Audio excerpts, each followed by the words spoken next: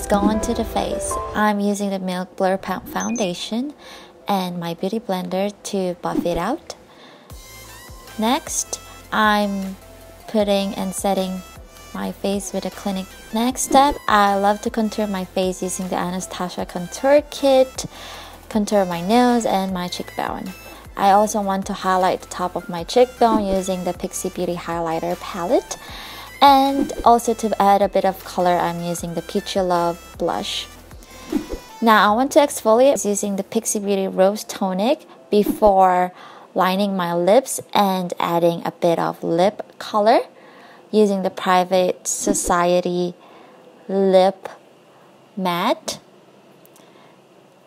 I'm gonna take this color right here and just apply it on my lips.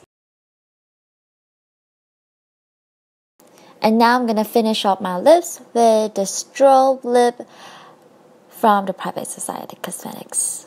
And that's it. Thank you guys so much for watching and I hope to see you again next time. Don't forget to hit the subscribe button and comment down below all your comments and questions. I'll see you again next time.